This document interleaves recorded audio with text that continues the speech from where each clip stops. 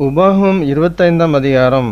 மனிதருக்குள்ளே வழக்குண்டாய் அவர்கள் நியாயம் விசாரிக்கப்பட நியாயஸ்தலத்திலே வந்தால் நியாயாதிபதிகள் நீதிமானை நீதிமான் என்றும் குற்றவாளியை குற்றவாளி என்றும் தீர்க்க கடவர்கள் குற்றவாளி அடிகளுக்கு பாத்திரவானானால் நியாயாதிபதி அவனை கீழே கிடக்க பண்ணி அவன் குற்றத்திற்கு தக்கதாய் தனக்கு முன்பாக கணக்கின்படி அவனை அடிப்பிக்க கடவன் அவனை நாற்பது அடி வரைக்கும் அடிக்கலாம்.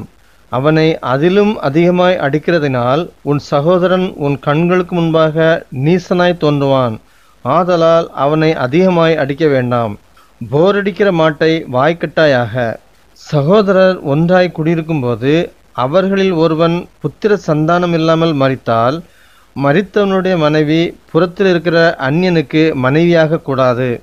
அவளுடைய புருஷனின் சகோதரன் அவளை தனக்கு மனைவியாக கொண்டு அவளிடத்தில் சேர்ந்து புருஷனுடைய சகோதரன் செய்ய வேண்டிய கடமையை செய்ய கடவன். மறித்த சகோதரனுடைய பெயர் இஸ்ரவேலில் அற்றுப்போகாதபடிக்கு அவன் பெயரை அவள் பெறும் தலைப்பிள்ளைக்கு தரிக்க வேண்டும். அவன் தன் சகோதரனுடைய மனைவியை விவாகம் பண்ண மனதில்லாதிருந்தால் அவன் சகோதரனுடைய மனைவி வாசலில் கூடிய மூப்பரிடத்திற்கு போய் என் புருஷனுடைய சகோதரன் தன் சகோதரனுடைய பெயரை இஸ்ரேவேலில் நிலைக்க பண்ண மாட்டேன் என்கிறான். புருஷனுடைய சகோதரன் செய்ய வேண்டிய கடமையை செய்ய அவன் மனதில்லாதிருக்கிறான் என்று சொல்வாளாக. அப்பொழுது அந்த பட்டணத்து மூப்பர் அவனை அழைப்பித்து அவனோட பேசியும் அவன் அவளை விவாகம் பண்ணிக்கொள்ள எனக்கு சம்மதமில்லை என்று பிடிவாதமாய் சொன்னால் அவன் சகோதரனுடைய மனைவி மூப்பரின் கண்களுக்கு முன்பாக அவனிடத்தில் வந்து அவன் காலில் இருக்கிற பாதரட்சியை கழற்றி அவன் முகத்திலே துப்பி தன் சகோதரன் வீட்டை கட்டாதவனுக்கு இப்படியே செய்யப்பட வேண்டும் என்று சொல்ல கடவள்.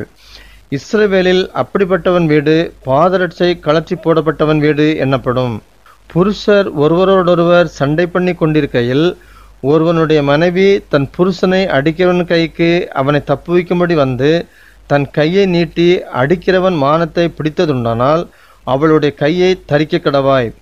உன் கண் அவளுக்கு இறங்க வேண்டாம். உன் பையிலே பெரிதும் சிறிதுமான பலவித நிறை கற்களை வைத்திருக்க வேண்டாம்.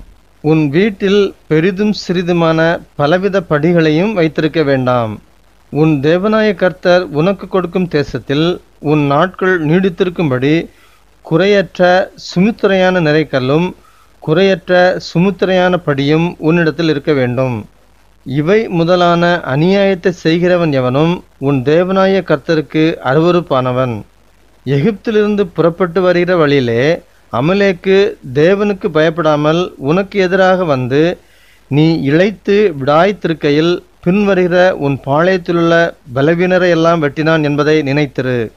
உன் தேவனாய கர்த்தர் நீ சுதந்திரித்து கொள்ள உனக்கு கொடுக்கும் தேசத்தின் சுற்றுப்புறத்தாராகிய உன்னுடைய சத்துருக்களை எல்லாம் உன் தேவனாய கர்த்தர் விலக்கி உன்னை இழைப்பார பண்ணும்போது நீ அமலேக்கின் பெயரை வானத்தின் கீழ் இராதபடிக்கு அழிய பண்ண கடவாய்.